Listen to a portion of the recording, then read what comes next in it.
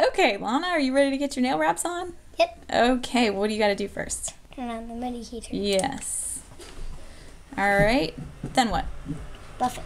Yeah, go ahead and buff it. Give it a nice surface to stick to. All right, now what? I'm cleaning it. Good. Yeah, we got to put some rubbing alcohol on the nail just to get all the oils and all the dirt off, just in case there's dirt, you know. Okay, all right, and dry it off just a little bit. Good. Alrighty, now go ahead and get that nail wrap that we've prepared onto the tweezers.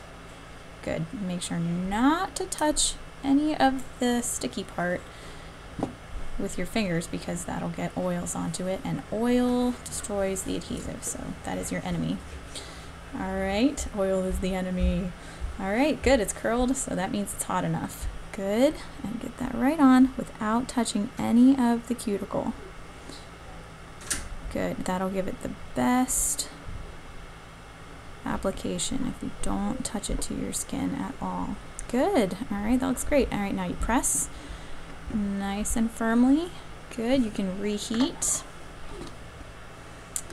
Good, you look like a pro at this. You look like this is not the first time that you've done this.